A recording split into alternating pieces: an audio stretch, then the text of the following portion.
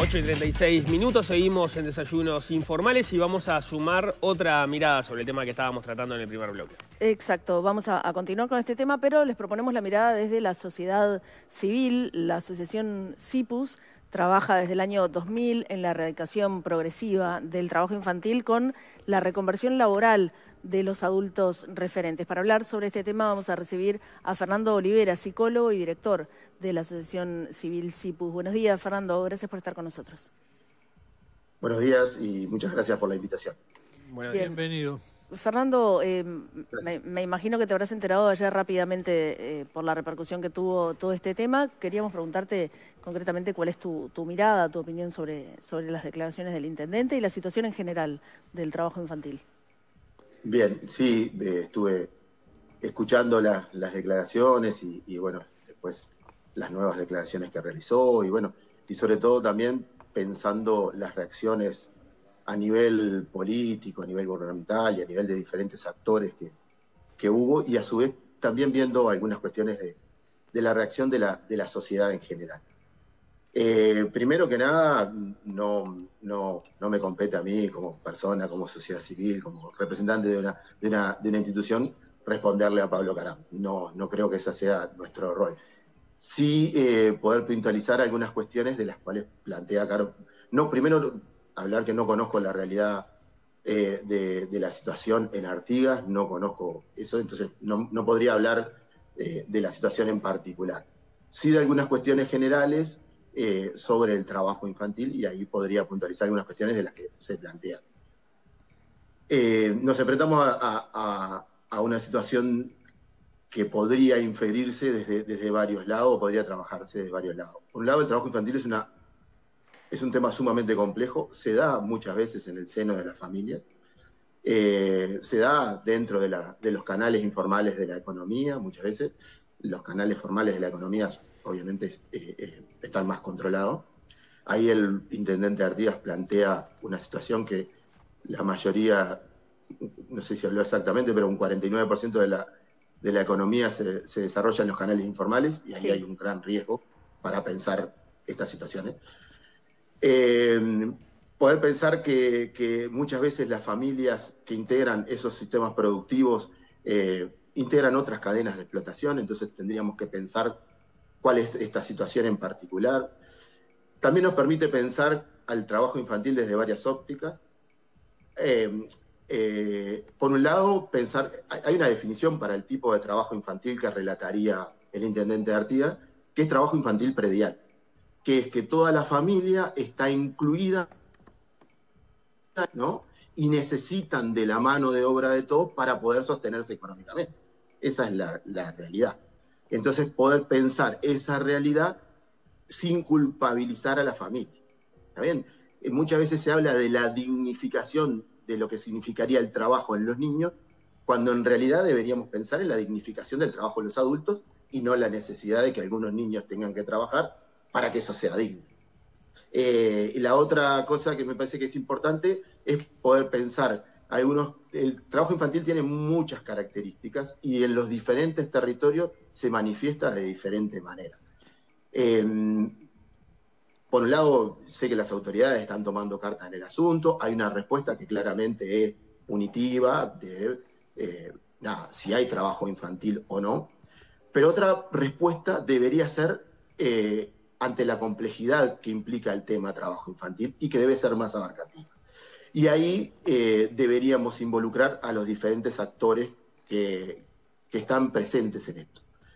Eh, el trabajo infantil rural eh, muchas veces se da según la safralidad. Entonces teníamos que pensar, involucrar al sistema educativo, al sistema de salud, a diferentes organizaciones de la sociedad civil y pensar en esa safralidad, cómo es el comportamiento de esos niños dentro del sistema.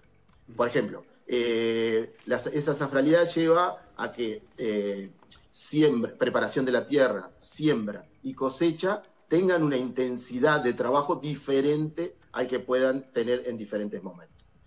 ¿Ah? Entonces hay que ver el comportamiento de esos niños dentro del sistema educativo esto, este, este tipo de trabajo, por el relato que hace el intendente de Artigas, habla de un relato muy artesanal. Entonces, necesariamente en el cuerpo van quedando marcas. Entonces, el sistema de salud debería poder detectarlo. Nos enfrentamos a varios inconvenientes frente a esto. Eh, por un lado, eh, la falta de recursos humanos capacitados frente al tema. Si uno hoy se quisiera formar en Uruguay específicamente con respecto al tema, eh, no, no tiene lugar donde. De hecho, nosotros como asociación civil tenemos, si bien asesoramiento de algunos profesionales en Uruguay, básicamente nos hemos tenido que formar eh, en Argentina, con profesionales que hemos eh, traído desde Argentina para, para, trabajar el tema. O sea, eh, el fenómeno de trabajo infantil es un fenómeno sumamente complejo, con muchas aristas. Hay, los diferentes territorios tienen diferentes realidades, diferentes tipos de trabajo infantil. dentro de los que trabajamos el tema de trabajo infantil, tenemos como un, un esquema básico, pero digo, simplista, pero que muy efectiva. Ahora, hola. Eh, hola. Lo, que parte de lo que Karam quería describir me da la impresión es lo que eh, usted definió como trabajo predial. Ahí, este, predial, que te da dentro del predio de la familia. Exactamente, predial. Em, ¿cómo, ¿Cómo se controla? Porque ahí puede haber situaciones muy diversas. Algunas que el, que el presidente del INAU recién las describió como claramente abusivas, otras que pueden darse en el, en el marco de bueno la actividad de una familia y, que, y que no sean no tengan ese componente de abuso cómo se marca el límite ahí el límite realmente es muy difuso es muy complejo y, lo primero que hay lo punitivo es una pata yo creo que hay que trabajar mucho sensibilizar mucho trabajar mucho con las familias involucradas, eh, con la sociedad civil. Eh, me parece que hay que eh, avanzar hacia un diálogo nacional sobre las diferentes situaciones de trabajo infantil que se dan en los territorios. Yo no conozco la realidad antigua, conozco otras realidades en el este, vinculadas al puerto de Nueva Palmira en algún momento, y no son muy distintas a lo que plantea Pablo Caram.